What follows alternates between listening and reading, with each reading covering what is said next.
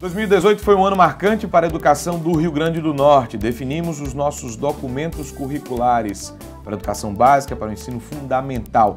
E a gente quer saber como é que isso vai ser colocado em prática, o que está acontecendo agora com os nossos professores, com os municípios do estado. Por isso, o nosso convidado é Alexandre Soares, presidente da União dos Dirigentes Municipais em Educação.